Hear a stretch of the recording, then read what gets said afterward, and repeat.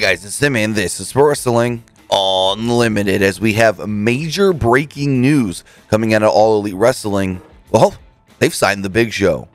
It was announced Wednesday morning that All Elite Wrestling has signed Paul Wight, aka the Big Show, to a long term deal.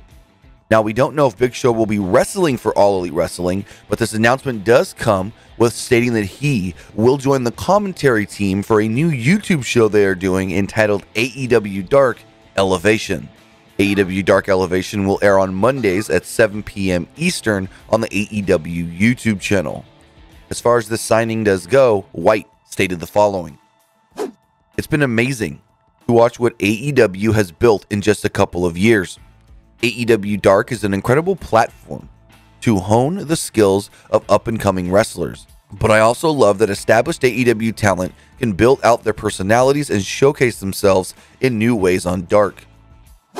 AEW does go on to state that today is a monumental day for AEW, but be sure to tune into AEW Dynamite tonight on TNT for additional announcements surrounding Paul Wight's signing the new AEW Elevation show, and the identity of Paul Wight's commentary partner.